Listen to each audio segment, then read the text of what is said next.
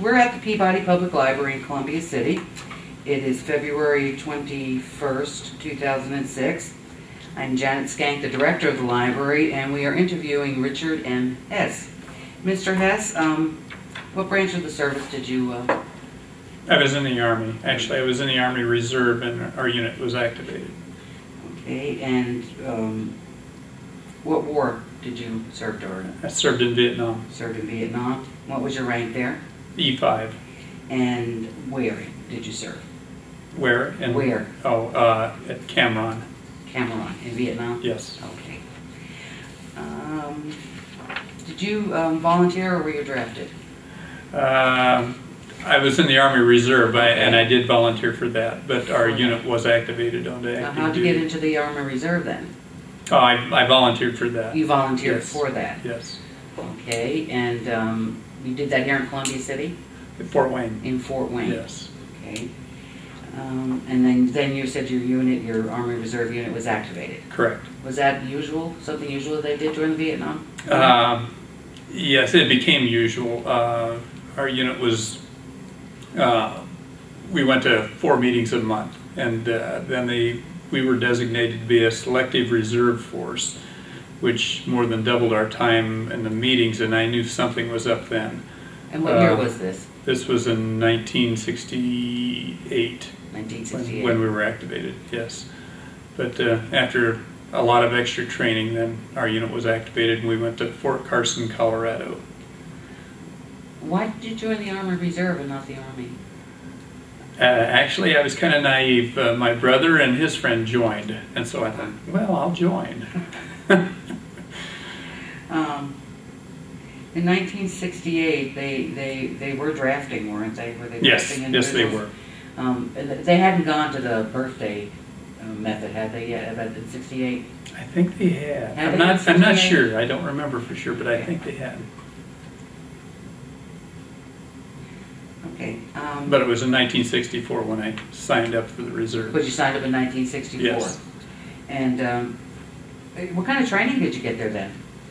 Uh, originally, originally? Oh, yes, yes. Uh, well, I went to basic training at Fort Knox, and uh, then I went to AIT, which was, uh, uh, I went to mechanic school at Fort Knox also. And I was in that maybe five months, and then came back and started going to meetings. Your basic, was it, the- was it the same as the uh, regular Army? would Oh, yes, say? yes. There were regular Army people How in long, how long did that take? Uh, it took eight weeks. Took eight weeks, Yes. okay. And what kind of things did you do during basic? Oh, everything. Everything. Nothing nice. Nothing nice. Uh, yeah, we uh, we learned how to how to march, which isn't vitally important to me, but uh, we learned a lot of things that would benefit us in combat training. And when I was in uh, basic training, you know, and a lot of guys were just taking that ho hum. And while I was in basic, is when the Gulf of Tonkin incident happened. Huh. And uh, I listened to Lyndon Johnson talk about that on the radio, and I thought, hmm. So everybody started paying attention after that. Um, but you learn to shoot rifles and, and hand-to-hand combat and peel potatoes and uh, I how to don a gas mask, uh, a lot of different things. The- Well, I guess it was very basic then. I mean, those are the kind of things. How about Yes. any training beyond that? You said you went to a school right after that? Yes, uh, I went to mechanic school. Mechanic school? Yes, uh, to, to work on trucks, To work on vehicles. trucks and Yes. Had you had any experience in that line before that? Um, What were you doing when, before you joined? Uh, I was a cabinet maker. You were a cabinet maker? Yes, and I still am working for the same company. But uh, I grew up on a farm, and every farm boy is a mechanic. So You had a little bit of training, Yes. a little bit of aptitude for Yes. that. All right, and then you, after that training, you came back to Columbia City? yes, Columbia but City. lived in Were you Columbia married City. at that time, sir? No, I wasn't. You weren't. When did you? I got married in 1967. 1967. Yes. So that was before you actually went to Vietnam? Yes. Oh. Yes. And were there not exemptions for that? No. No. Not for being married. I married? mean, uh, when you volunteer, you're you're in. They don't care whether you're married or not. That's right. Um, how did you receive word, I mean, you came back here, you weren't, you weren't in the army yet, you're still in the reserves. Correct. How did they let you know that you were going to be going over to Vietnam or being called up or?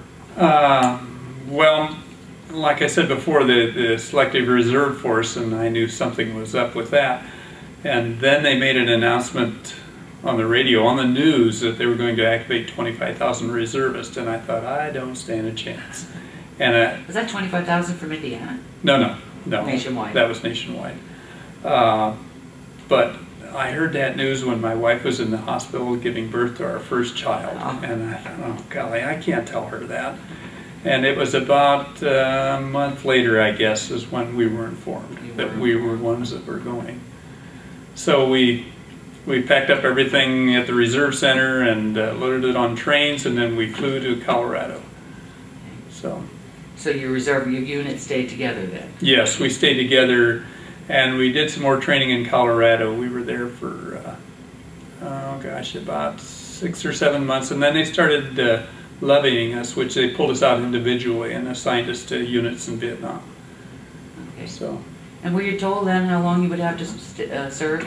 Well, we were activated for a two-year time period, and uh, that was in May of '68. So we assumed it would be in May of '70 when we would get out. But they did uh, decrease that time. We actually got out in uh, around December 1st of uh, 69. What did you know about Vietnam during that time? I mean, Uh, before I went, yeah, um, well, everybody watched the news and, and watched the bounty, body count figures and and uh, did you know anybody had, uh, had already gone to Vietnam? yes, yes, yes. I, I knew two people from Columbia City that were uh, killed in Vietnam. Before you actually left? Yes. Um, you went to Colorado and they started levying you out, is that the word? Uh, you yes, used? after we did some training, they called it uh, basic unit training. You know, we What is that?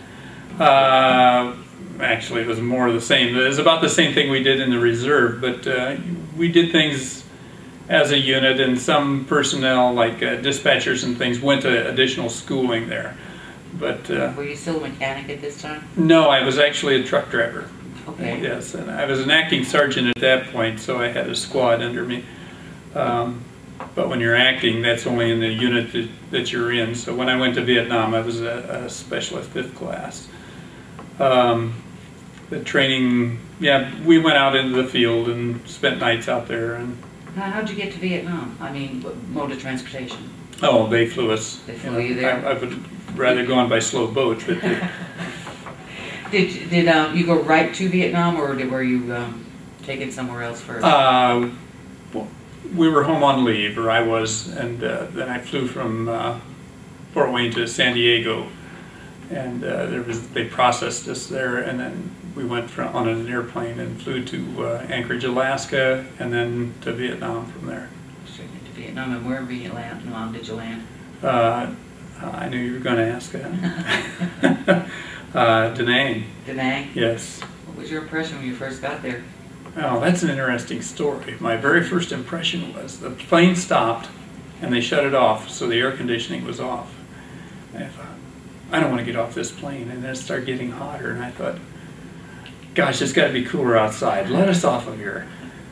And so then finally they did, they opened the door, and the closer I got to the door, it was so hot. I could not believe it. Uh, what, what, what time of the year was this, by the way? uh, this was in uh, April. In April. hmm So it was hot in April. Yes, it was hot all year. Really? In Yes. Vietnam, it's hot all year? Yes. Yeah. Um, but anyway, we got off, and, and your clothes for the first month, your clothes are just drenched, you know, till your body acclimates to it.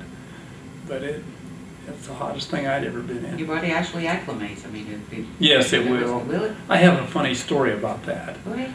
There was um, there was a storm in the South China Sea. Cameron is it's Cameron Bay actually, and it's right on the ocean. And uh, it had really cooled down. It really felt great. You know, I, it was probably 75 or 80 degrees, and we had uh, local Vietnamese that worked in the motor pool with us and cleaned parts, and some of them trained, and and uh, there was a couple of boys that I really enjoyed and they were sitting there shivering, and so I was making fun of them. And um, they knew a little English and I knew a little Vietnamese and the French had been there, so you know you said things like buku and um, and sign language, and so they got out of me how cold it was, or that message across to how cold it was where I came from. And I thought, how am I going to tell them this, you know, that they'll comprehend? And finally, I took them into the office there, and there was a refrigerator, and I opened the door and opened the freezer part, which was covered with frost, and I said, same, same. And this boy's eyes just got big and huge and utter disbelief, and then he says, oh, bullshit. Uh, so, and it was it was hard for me to believe that that came from a place that cold. Um, you stayed then, you were still a truck driver? during- Actually, I was a mechanic. Went back to being a mechanic Yes. when you went, went there? Yes. And you basically stay on the, on the, was it a base that you were at, or? Yes, yes. Uh, Cameron was a big depot area. A lot of the ships came in and unloaded there, and then uh, the motor pool that I was involved with, the, the truck drivers would go out and, and move that stuff around in the depot area. But uh, no one in our unit left that that. Uh, Okay, so for the, Bay basically Area. the two years you were right, yes, or the time you very, spent there, you Yes. were, you were right there on, Yes, on, yeah. on and uh, probably the safest place in Vietnam. really? Yes. Why would that be? Well, it was it was a bay area, and we were down on a peninsula, and so there was no way across. They could shoot rockets across, and uh, there was a hospital there, and they did come in and attack that one night. They did uh, blow up a uh, jet fuel line that went from the bay up to the Air Force base, but uh, there wasn't a lot of activity. Okay. Uh, Well, for two years, did you stay there two years? No, no, I was there for actually I was only there for about eight months. About eight and, months? and then they let the reserves out. So All the reserves left? Yes, yes.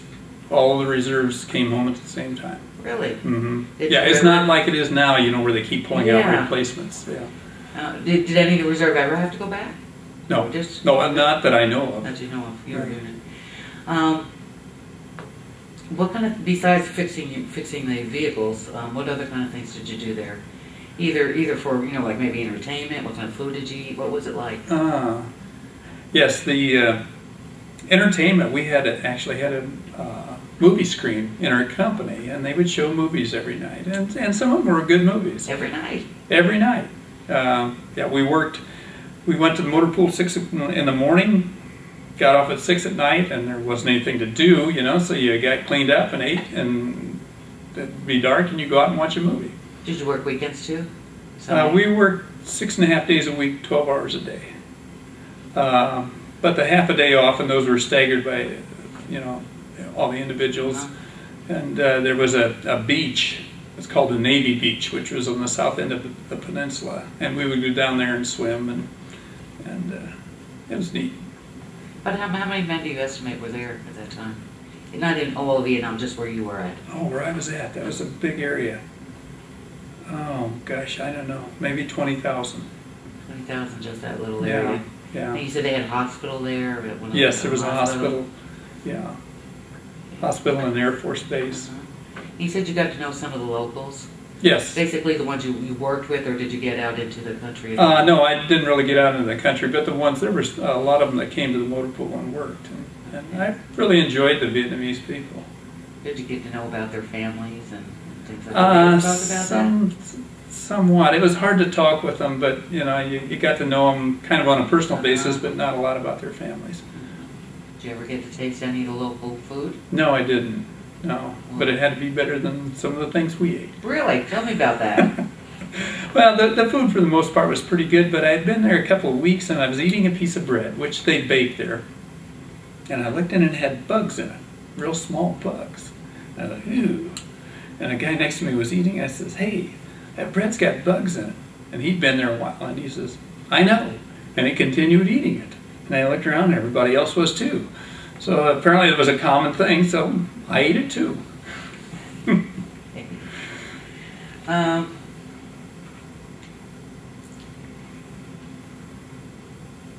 do, you- do you, some of the men that you actually serve with, um, did they have any interesting stories or? Tell me some of the things that happened while you were on, on, on the base. Um, there was a riot in the company next door, racial.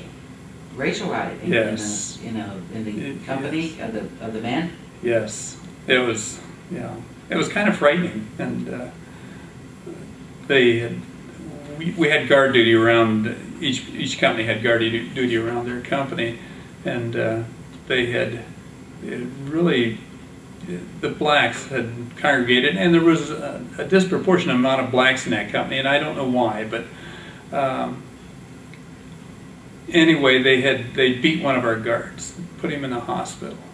And so then they went on a riot and they were ransacking everything. And, and uh, in three days' time, they went through three different company commanders because they beat them up.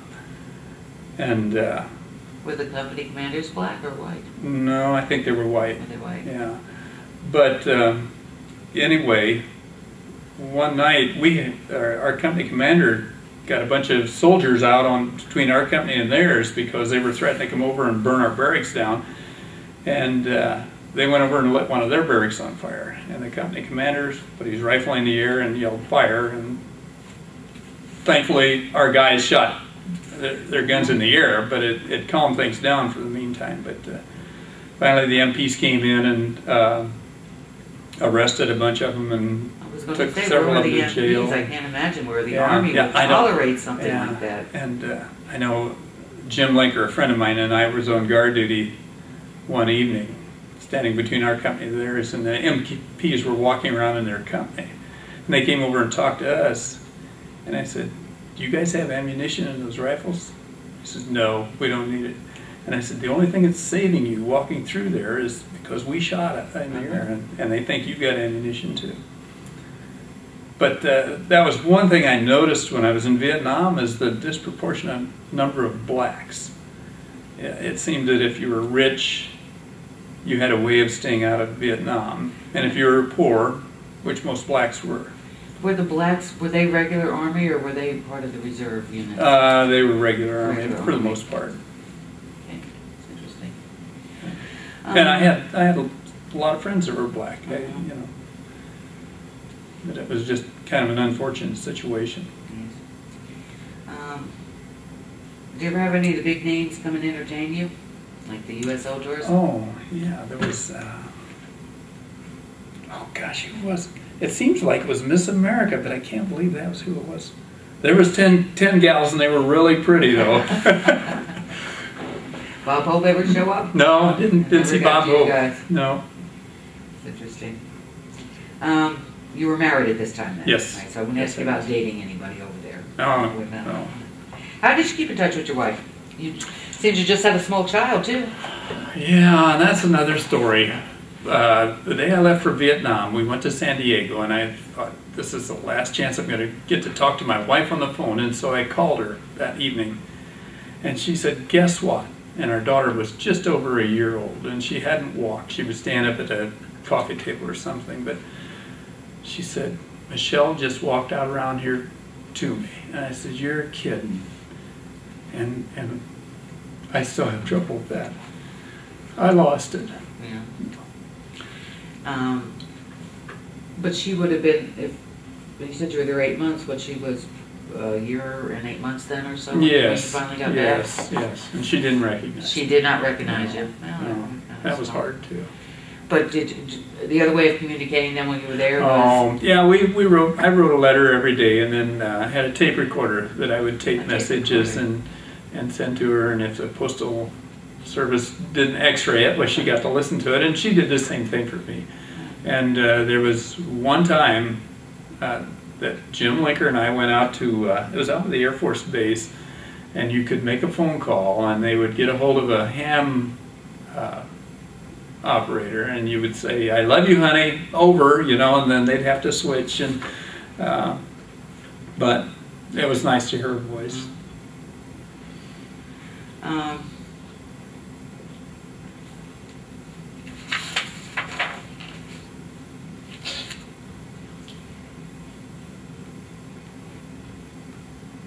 You said that you st- you basically stayed on the base there, but um, were there any kind of like casualties or anything like that? You said they attacked once. uh, no not that i saw Not that not that i saw. well the i know the there were like 100 casualties at the hospital when they they came in and attacked that, but I'm not sure that Well, anyone how was big a killed. base was this then? It was pretty good size. Was it? Yes. Yeah, I mean, there were a lot of barracks.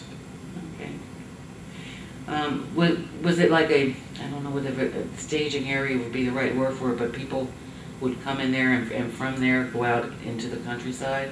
Um, mostly what left there were trucks hauling, Trucks. uh, equipment and, Equipment and, and, and supplies? yes. Okay. Um, well, some service people do things for good luck. Did you ever consider doing something like that? No, No, it wasn't one of, one of yours. no, Did you get any kind of leave while you were there? no. No, for the eight months you were, you there, okay? Um, the men that you served with and the women that, you know, during Vietnam, I imagine there were women, or at least nurses there on base.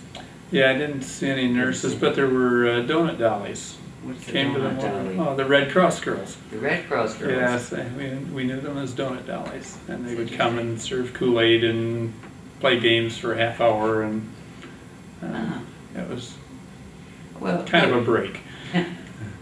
The, well, the people that you were serving with then, um, did you, did you form any kind of lasting friendships with any of them? Uh, I haven't been in touch with any of them for a while, but uh, yes, uh, there was a couple of guys from Indiana. Uh, one was from Evansville, and the other one uh, was uh, from over around Rensselaer. Uh, but I haven't talked to him for a while. And there were a couple of guys uh, from my unit in Colorado that went over at the same time I did, and were in the same company. So, and I do see those occasions. Um, When you um, came back then, uh, after the eight months, uh, did you take advantage of any of the benefits, or were those benefits even available to you? Yes, they were. I did take some uh, uh, schooling on auto mechanics, uh, a correspondence course that the government paid for. They paid ninety percent of it. Uh-huh. Yeah. And, and is that what you did after the war, after your, your service then? No, I'm still a cabinet maker. Still a cabinet Same maker. place, forty-three years. Okay. Um, Did you, um, um, did you join any, when you got back, did you join any of the veterans organizations like the VFW or the American Legion? No, uh, with the attitude in this country at that time, I guess I just as soon would forget it. Uh, What kind of reception did you get when you came back? none. None at all? None? No. Uh, you know, people would, you know, if they knew you came back with, well, I'm glad you're back, that war stinks, you know, and, you know, they didn't give you any credit for what you did regardless of how they felt about the war. Mhm. Even in, um, even your friends, the people that you knew? Oh, they were glad to see me back, Back. yes, How about your family? Oh, yes, definitely.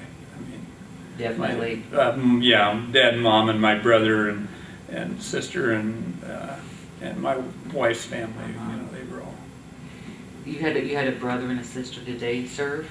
Uh, my brother was in the Army Reserve. He's He the one that talked me into joining. That's right, you said that. Uh, but he didn't, uh, he never got activated. He was never activated. Know, and my sister didn't at There's all. gotta be some kind of irony in that then. well, when you're in the Army or the Reserve, you always complain when you're in there, you know, and, and he had to go to summer camp and he's, he told uh, a friend of his, he says, this year I'm not complaining at all. He says, I could be in a worse situation. So, Um, that war lasted uh, many years after you were, you were able to Oh, leave. when did they pull out of there? Was it 75? 74? Somewhere around yeah, there. So, you know, I left in 69. Do you remember that, when that, when that was announced that they were pulling out? Yes, I remember watching the footage on TV and the helicopter trying to take off when it was overloaded and, yeah. Did Yeah. that- Did any of that surprise you, or? Not really. I didn't know that the war was win- winnable at that point. Really? Yeah. Yeah, I mean, it was, that war was fought a lot like the American Revolution was fought, you know. There was a country from a long distance away trying to fight a war, and the local people were terribly outgunned, but they knew the territory and, and uh, they had advantages of, of being their home area. That's interesting, that's an interesting comparison. Um, before we end this, um, was there anything that I either failed to ask or something that you wanted to say? Hmm. Well, I'm, I'm proud that I served my country. Uh, I, uh, there was a lot of that I didn't enjoy, but uh, uh, I volunteered and, and I didn't complain about going, so. Well, Mr. Hess, we really thank you for uh, participating. You gave us some very good information, and uh, thank you. Thank you.